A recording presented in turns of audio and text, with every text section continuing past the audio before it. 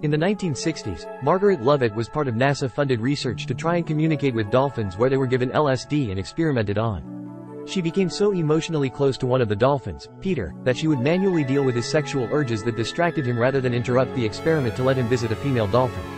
Sadly, after the research was no longer funded, Peter was so depressed by the separation from Lovatt he eventually chose to stop coming to the surface to breathe, ending his own life.